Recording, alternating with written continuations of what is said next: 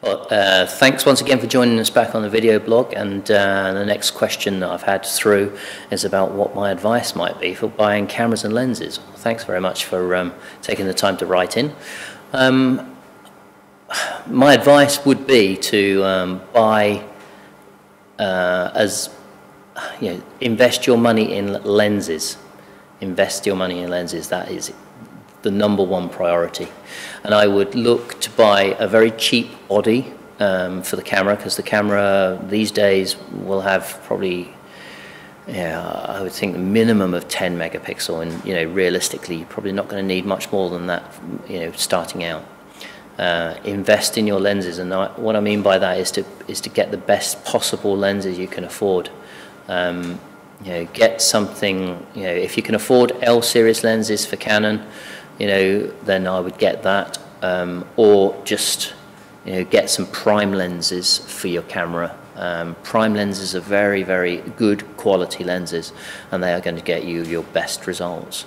Um, even the L series zoom lenses aren't going to be as good as prime lenses, so get yourself some of those. Um, make sure that uh, they, you know, if you're going to buy them secondhand, make sure they come from a reasonable source that you um, that you respect and you that you know about, and they don't have any fungicide in them, and they're not cloudy looking, and they've been just generally looked after well. So, uh, if you're going to get a secondhand camera body, I would make sure that it um, that you can go and visit the person that uh, is selling it first, check it out yourself, take some photos on it, um, make sure it works uh, both in its stills capacity and its video capacity.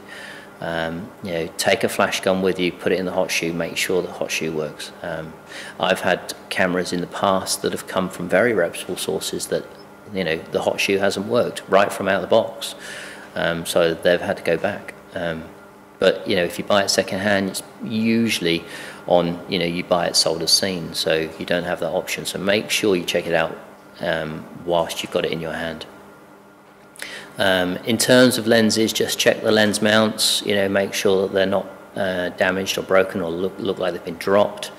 Um, and check the, uh, the filter um, thread as well, just to make sure that they've not been dented over because you'll not get a filter on the top of that otherwise. So um, yeah, invest in lenses, that would be first and foremost. If you can't afford DSLR, then have a look around. I'm not the best person to speak about um, compact cameras or point and shoot cameras because that's yeah, I really don't know much about that um, part of the market. But um, you know, look around, try and buy something with a decent lens on it, a Zeiss lens, something you know um, along that mark, or a Sony lens that have got Leica lenses in them. Then they're usually very very good. So, all right, and thanks very much for your question. And uh, if you've got any comments leave them below for me. Thanks very much.